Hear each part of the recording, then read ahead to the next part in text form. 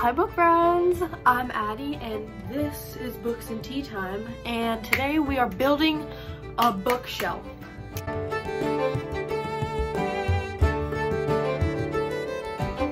So I bought a bookshelf because the one I currently have is small and I have no room. I am quite literally bursting at the seams right now with books. They're overtaking my entire space. So I bought a taller bookshelf, taller, wider, bigger, better, all of it.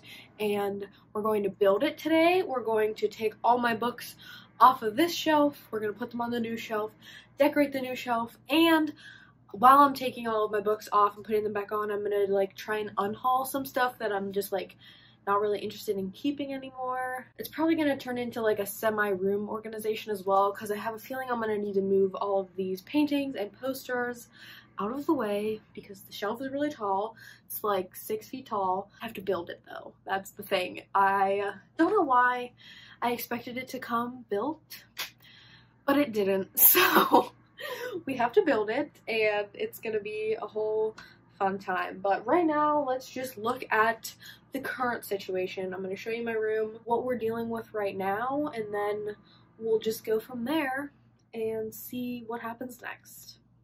Okay. Hey guys. Got my cute little overall situation. Let's just do an overview of the room currently and what we're dealing with. So first things first, here's my door. Right when you walk into my room, you have books right here books, books, books, books. Then this is where it gets really bad. we have books, books, books, books, books, more books. Turn around here, graphic novels, books, really, really tall stack of books. This is Defying Gravity, like 24 7. More books back here. And there's some under my bed. There's not like a lot under my bed, but like there's enough that I should be ashamed of it. So as you can see, I have too many books. And in my head I was just like listen I'll wait until I move out and I get my own place and buy a bunch of bookshelves and just make my own like mini library. But I don't know when I'm gonna move out. And I cannot just turn my room into a book storage space. Like I have to live in here and I want it to look nice because I want to have cute shelves like all the other booktubers. As much as I love this little guy, it's gotta go because it just, it isn't cutting it anymore. So I got a five shelf bookshelf, although it's technically gonna be six because I'm gonna put more on like the top of the shelf and I'm gonna reorganize it and do my best to make it look cute and also practical. What are we gonna do first? I think step one should be taking all of the decorations and books off of this shelf and then move this shelf, then build the new shelf, then reshelve on the new shelf. Let's do that first and see where we go from there.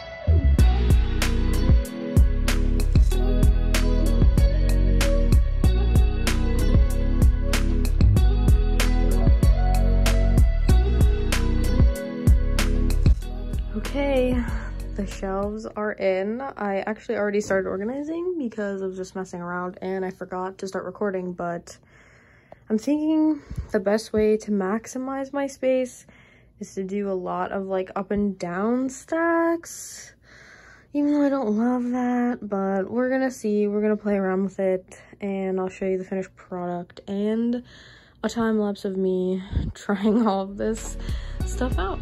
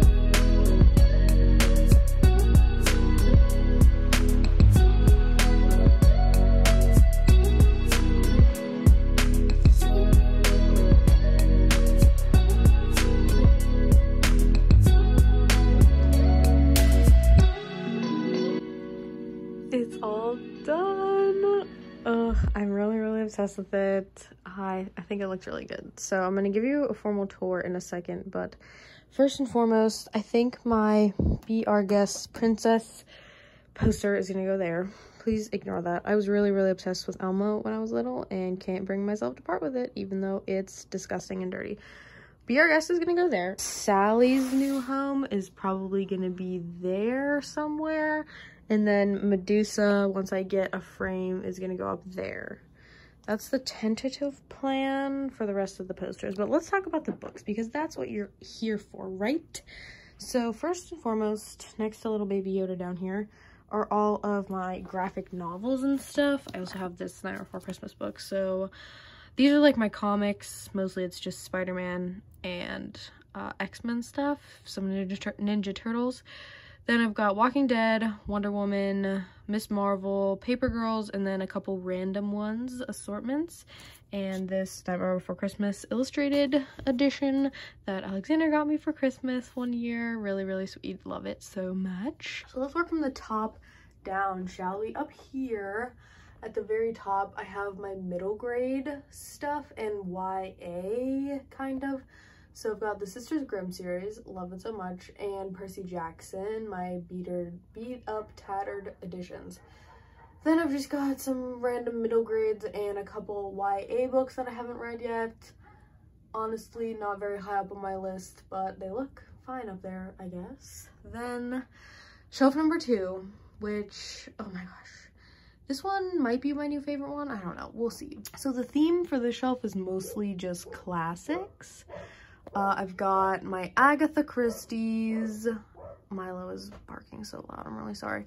I've got a bunch of Agatha Christie's, some Shirley Jackson, a Bronte. This is supposed to be Paradise Lost. It's really, really old and beat up, but I really like it, so I don't want to get rid of it.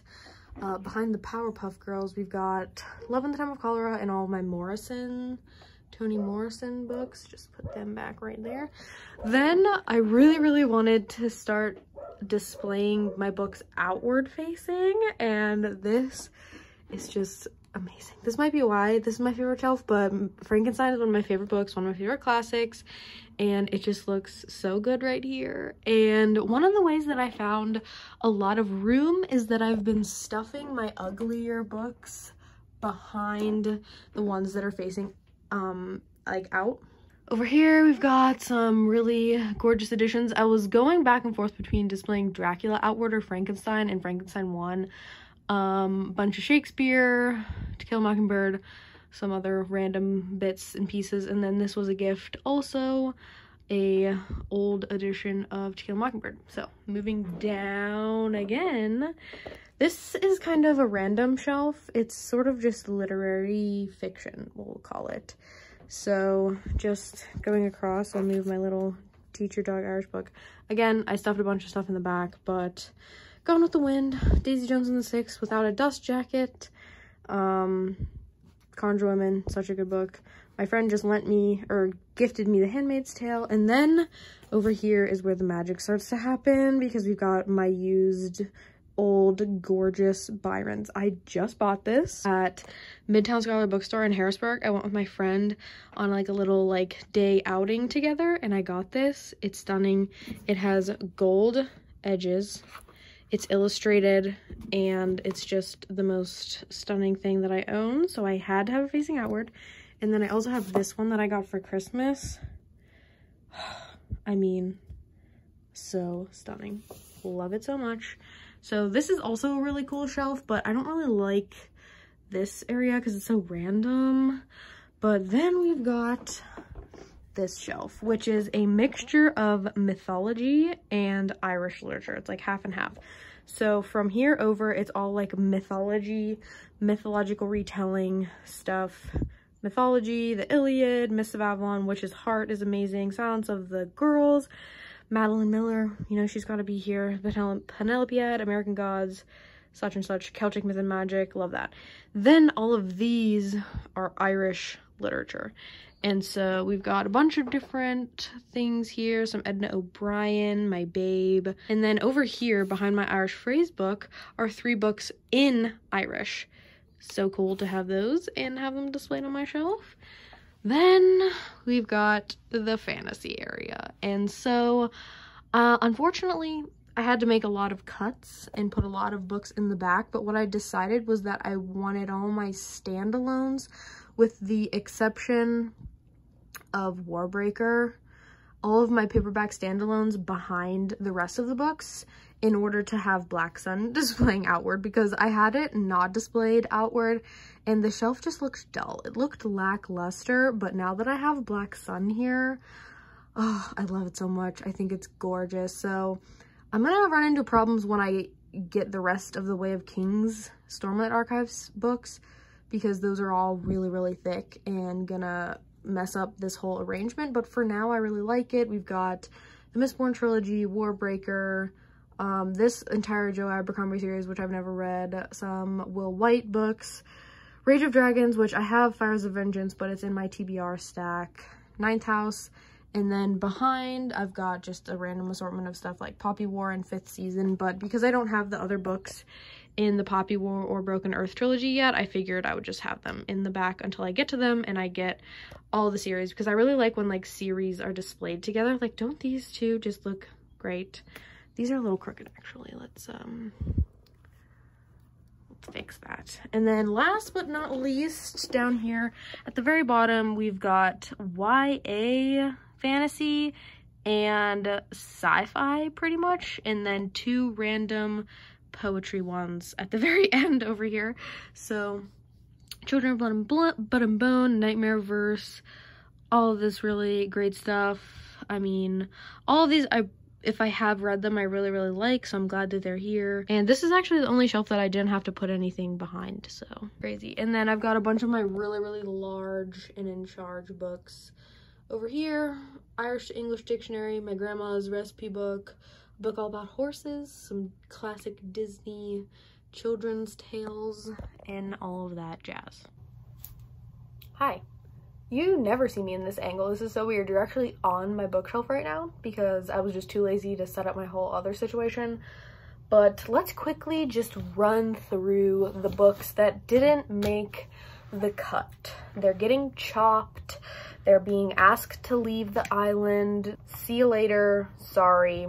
Ain't gonna happen. I think I'm gonna get rid of my Norton anthology. I'm probably gonna find a Pitt student who needs this that I know because I still know some kids who go to Pitt and this is like a book that I had to buy for a class. It has like a bunch of crap in it. It's literally huge. It's like 3,000 pages. It's a brick and I just, I don't need it. So I'm probably gonna find someone that I can just give this to. Then I decided to finally part ways with Something Strange and Deadly. I got this really, really cheap like a while ago at a bookstore or a book sale or something.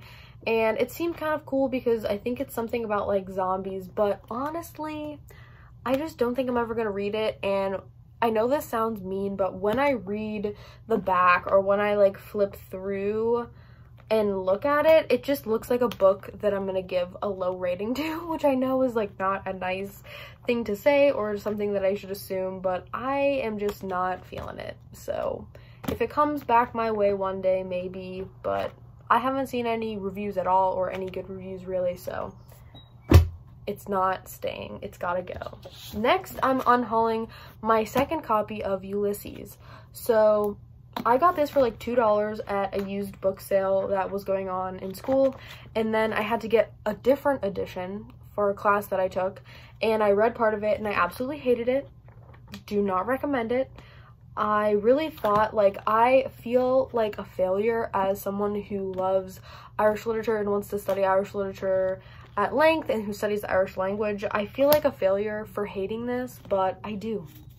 I don't like James Joyce. We don't jive, we don't get along, and I was keeping this on my shelf to look fancier and look cool as an Irish literature collector, I guess, and it's just not worth it. Another YA that I just don't think I'm gonna like, but that I picked up is The Girl the Sea Gave Back by Adrienne Young. I haven't really heard great things about Adrienne Young overall. I know like a lot of people read her like Fable book and don't really like it, so I don't know. Again, I bought it for like under five dollars or something just when I saw it because I was like, ooh, ocean, cool stuff. But I'm just I'm never called to pick it up and I think that when I do, if I did, I wouldn't really like it. So that's getting the boot. Another thing, I literally got this for 50 cents at a half price books mega like sale situation a few years ago, but I'm not gonna read it. And that is One for the Money by Janet Evanovich. My mom read like all of these when they were first coming out. There's like 20 or 30 books in this series. It's about like a girl who becomes a bounty hunter or a detective or something. And I've seen the movie with that one chick from 27 Dresses whose name is escaping me right now. Seen the movie. I know what happens. And I just, I don't think I'm going to read it and read the whole series. I thought at one point that I would, but honestly, no. Next, another one that I have not read. You know what? I think the majority of these are books that I haven't read, but that I bought because I thought that I was going to read. And that is Scythe. So this might be a surprise because a lot of people really, really like this series and really, really like this book. But I just don't really feel like it. And I've never been called to pick it up. And then Katie Colson just read this and hated it. And a lot of her critiques of it, I think that I also would find really annoying. And in addition to that, the copy that I got is just like really messed up. Like, I don't know if you can see this, but like there's this random section of pages that are just like short and cut off at the bottom. So like there's like whole sentences missing. So honestly, I might just have to throw this away because it's just like a really bad printing error anyway. Next is another one I feel kind of bad getting rid of because I'm pretty sure this was a gift that my aunt gave me. That is A Time to Kill by John Grisham. So I've never read anything by Grisham before and I've heard good things about this from people in my life, but the first issue was that someone spoiled this for me.